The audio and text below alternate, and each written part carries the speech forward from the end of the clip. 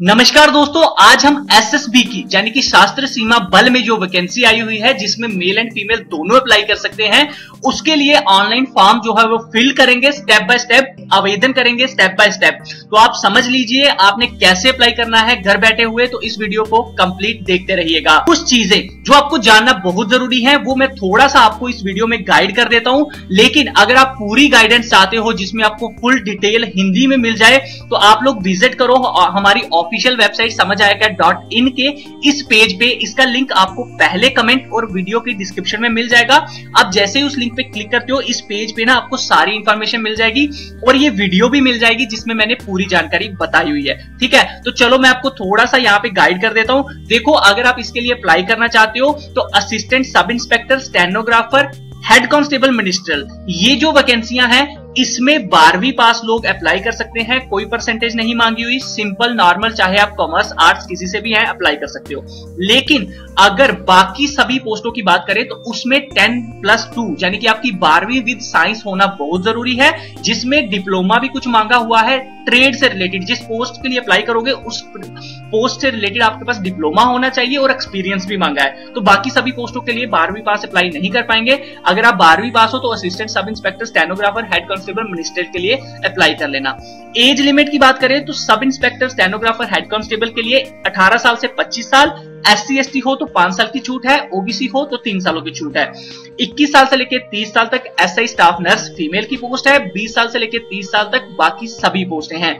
इसमें जो आपको पोस्टें मिल रही हैं, वो कौन कौन सी है? SI staff nurse female SI pharmacist है ऑपरेशन थिएटर टेक्नीशियन है डेंटल टेक्नीशियन है रेडियोग्राफर है स्टेनोग्राफर है और हेड कॉन्स्टेबल मिनिस्टर है। तो भाई, बाकी ज़्यादा जानकारी के लिए सिलेक्शन कैसे होगी, आपका रिटर्न में क्या आएगा मार्क्स कितने होंगे और कितना कट ऑफ़ जाएगा वो अगर आप देखना चाहते हो तो भाई आप ये वीडियो देख लो।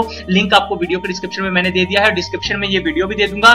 या फिर अगर आप विज़िट करते हो हमारे यूट्यूब चैनल समझ आया क्या पे तो आपको ये वीडियो यहाँ पे मिल जाएगी। प्ले के अंदर गवर्नमेंट जॉब का ऑप्शन है, वहाँ पे चले जाना तो वहाँ से आप देख सकते हो। और चैनल को भाई सब्सक्राइब कर लेना। अगर आपने अभी तक नहीं किया, ये बिल्कुल फ्री है। बेलाइकन दबा लेना। इससे आपको मैसेज आना स्टार्ट हो जाएँगे, जब भी हम कोई नई भर्ती की वीडियो डालेंगे। तो चलो, अभी हम अप्लाई करते हैं। देखो, यहाँ पे मैंने नोटिफिकेशन का लिंक दिया है। पीडीएफ का, इसको डाउनलोड करके खुद भी रीड कर लेना। फ़िलहाल अभी हम ऑनलाइन अप्लाई करेंगे तो मैंने ना डायरेक्ट जो सबसे फास्ट लिंक है, वो दिया हुआ है। आप जैसे ही यहाँ पे क्लिक करते हो ना तो दोस्तों सीधा ही अप्लाई का आपको ऑप्शन है। कहीं आगे पीछे जाने की ज़रूरत नहीं है। लेकिन मेरी ड्यूटी है आपको ये भी सिखाना कि गूगल से आप कैसे अप्लाई कर सकते हो। तो देखो गूगल में आपको थोड़ी प्रॉब्लम आ जाएगी। कैसे? मैं बताता हूँ। आप सिंपल एसएसबी सर्च करना।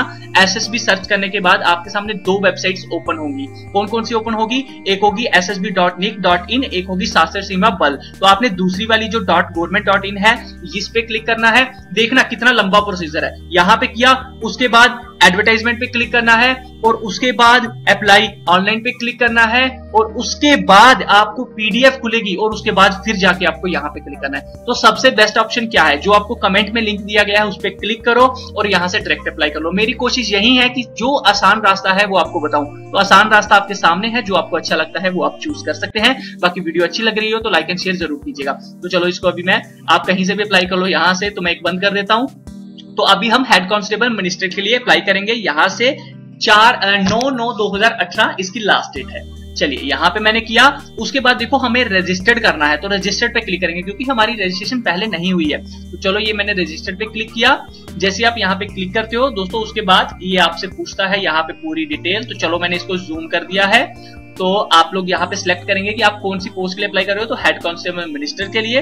उसके बाद मुझसे ये नाम पूछ रहा है तो आपने बड़े अक्षरों में नाम देना है, ये ऑलरेडी बड़े अक्षरों में ही लेगा। फादर नेम पूछ रहा है, उसके बाद मदर नेम है डेट ऑफ़ बर्थ है जेंडर चलो मेल और फादर नेम हम यहाँ पे दे देते हैं। ठीक है, ये हो गया फादर नेम उसके बाद मदर नेम पूछ रहा है, चलो अदर नेम हो गया। डेट ऑफ़ बर्थ पूछ रहा है तो चलो, हम यहाँ से डेट ऑफ़ बर्थ जो है वो सिलेक्ट कर लेते हैं।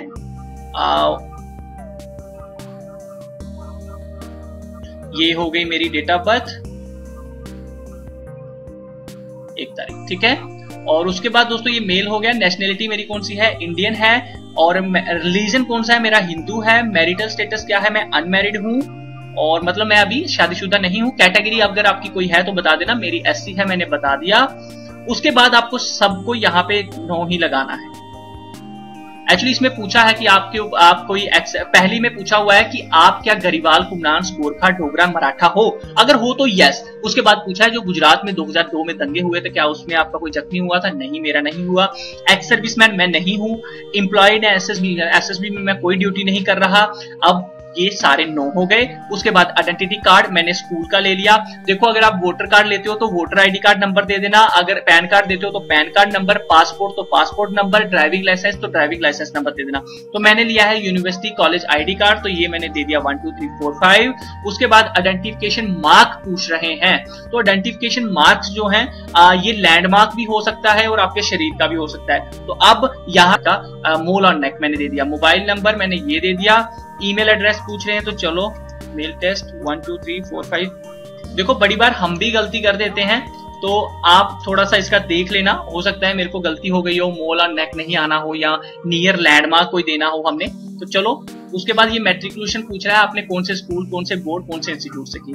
तो भाई, यहाँ पे मैं सिर्फ़ जेके बोर्ड दूँगा, क्योंकि इन्होंने स्लैश डाला है तो एक चीज़ आप दे सकते हो, या फिर आप अगर आपने सारा देना तो सारा भी दे सकते हो। तो 2010 में मैंने पास की और ट्वेल्थ भी मैंने जो थी वो जेके बोर्ड से, जम्मू एंड कश्मीर बोर्ड से की, और ये मैंने बारह में पास की। रोल नंबर आ गया one two three four five six seven और इसका देते हैं one two three four five six certificate number one two three four five six seven eight nine और इसका भी मैं सेम ही रखूँगा। ठीक है? डेट ऑफ़ इशू कब हुआ? तो ये भाई 2010 में हुआ था। बस उसके बाद मैं ऐसे ही ले लेता हूँ। और उसके बाद ये रहा, चलो।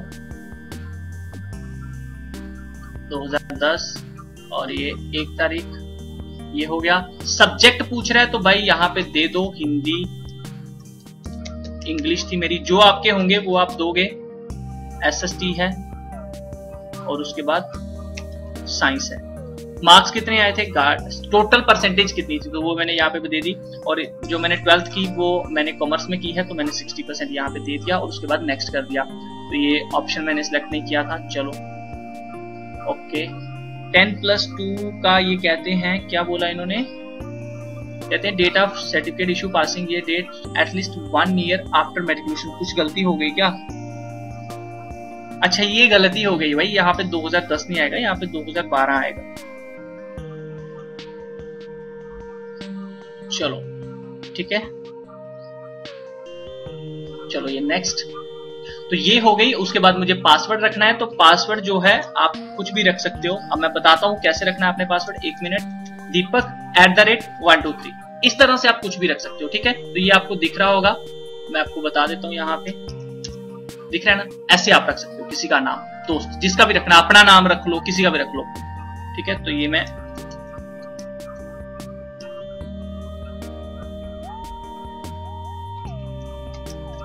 मैंने भी कुछ ऐसा ही रख दिया, उसके बाद और ये जो डिटेल ऊपर दी गई है, ये आपको देनी है। तो दोस्तों, पीछे जो हमने वो मोला नेक लिखा ना, वो बिल्कुल सही था। लैंडमार्क अब यहाँ पे आ जाएगा। मतलब एड्रेस के लिए यहाँ पे पूछ रहे तो विलेज टाउन मेरा जम्मू है। पोस्ट ऑफ़िस मेरा गंगयाल पड़ता है। और तहसील मेरी जम्मू है। पुलिस स्टेशन जम्मू ही आएगा। और डिस्ट्रिक्ट मेरी जो है वो जम्मू है। Pin code one eight zero zero one zero है।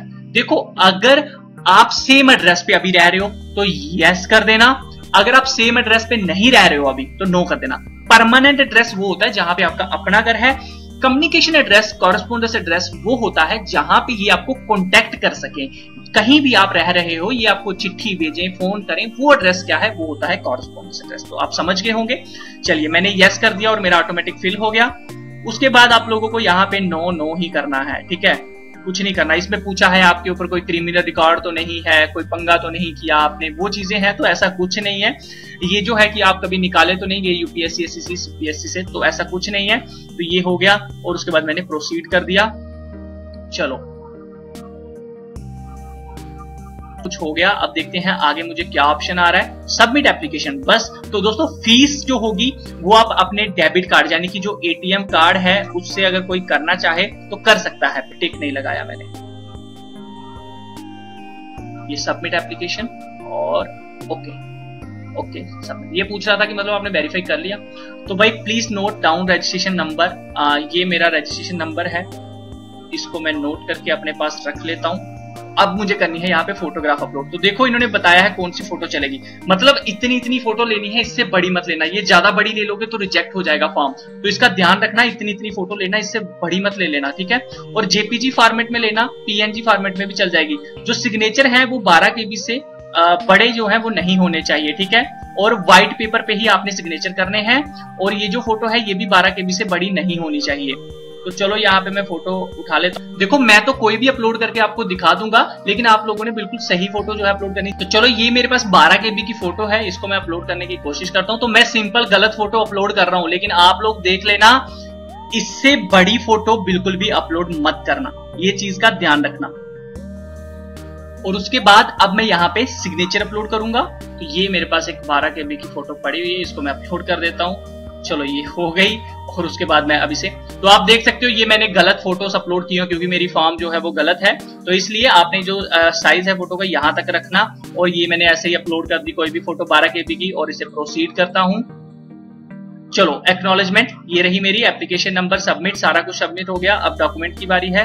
तो ये कहता है please note down registration number तो नोट रजिस्ट्रेशन नंबर तो मैंने नोट करके पहले ही रख लिया हुआ है प्रिंट एक्नोलेजमेंट अब इसको मैं प्रिंट करके जो है अपने पास रख लेता हूँ, ठीक है? तो फ़िलहाल क्या अभी मेरी रजिस्ट्रेशन हो चुकी है या नहीं हो चुकी, वो मुझे भी नहीं पता है, ठीक है? तो ये अभी मैं देख लेता हूँ मेरा फॉर्म सबमिट है या नहीं है। तो फ़िलहाल ये बता तो रहा है, लेकिन मैं एक बार इसको लॉग इन करके ज़रूर देखूँगा ताकि मुझे कंफर्मेशन मिल जाए कि भाई मेरा जो है वो फॉर्म सबमिट हो चुका है। तो चलो मैं देखता हूँ। यहाँ पे आके, और मैं यहाँ पे आया, और अब मैं रजिस्ट्रेशन आईडी जो है यहाँ पे डाल देता हूँ P P U K H G ठीक है तो ये हो गया और ये मैं लॉग इन करता हूँ। हाँ भाई, मैंने इस पोस्ट के लिए अप्लाई किया हुआ है। तो इसका मतलब ये है कि मेरा फॉर्म सबमिट हो चुका है। तो इस तरह से आप फॉर्म सबमिट कर लीजिए, जिन्होंने फ़ीस पे करनी है, वो अपने डेबिट कार्ड एटीएम कार्ड से कर सकते हैं। तो दोस्तों, यही थी आज की वीडियो कैसी लगी कमेंट करके ज़रूर बताएगा अगर आप लोगों को वीडियो अच्छी लगी और आपने आज कुछ सीखा है तो प्लीज़ वीडियो को शेयर कीजिए और किसी और को भी सिखाइए और बनिए हमारे भारत की सेवा का हिस्सा, क्योंकि आप भी जब शेयर करते हो तो आप एक भारतीय की हेल्प कर रहे हो जो देश की सेवा के लिए जाना चाहता है। तो भाई, ज़रूर वीडियो को शेयर करें और लाइक करें। बाकी मिलता हूँ आपके साथ नेक्स्ट वीडियो में, तब तक के लिए अपना ख्याल रखिए। इंस्टाग्राम पे फॉलो कीजिए। लिंक आपको वीडियो के डिस्क्रिप्शन में मिल जाएगा। समझ आया क्या?